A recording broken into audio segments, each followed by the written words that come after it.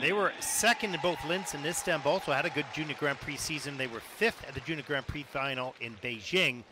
So what a season they've had, and they like to top that off with a strong skate here. 54.37 is their personal best, so skate to Once Upon a December.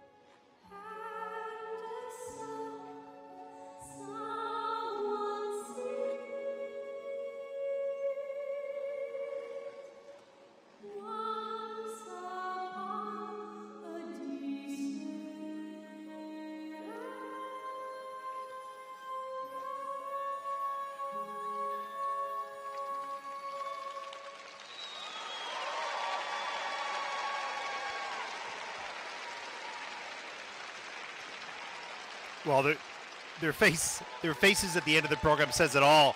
They are simply thrilled with that performance, and so they should be. From all the USA, the levels of difficulty, the highest, Moore level four, plus pretty big GOE scores in the ones. This is going to be a big score. These will be the new leaders after we see the replays and the scores add up. Perhaps their best performance of the season. What a great day of pair skating so far. Even the teams with not a lot of experience have skated their best. The season's best are being beaten every time out, every team out so far. And there is a look at their coach, Drew Meekins, and Natalia Mishkutenok. And that was so solid and so strong, and quality of every detail and expression. Here's level four difficult entry, split, catch, arms down to the side. There's the throw, triple loop. Great save on that, right into a spread eagle. The 1.07 GOE. Left hand on the hip. That's unusual, but usually lift with the right. Got the left hand up, change of hold. Level four, the plus GOE of 0.55. Double axles, solid. Traveling three turns into this change combo spin. Pretty good using unison on the first side.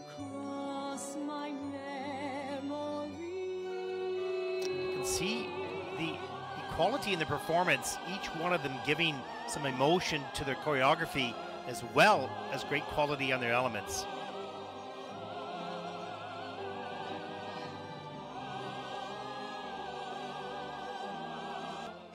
Well, eight teams to come, but these will be the leaders.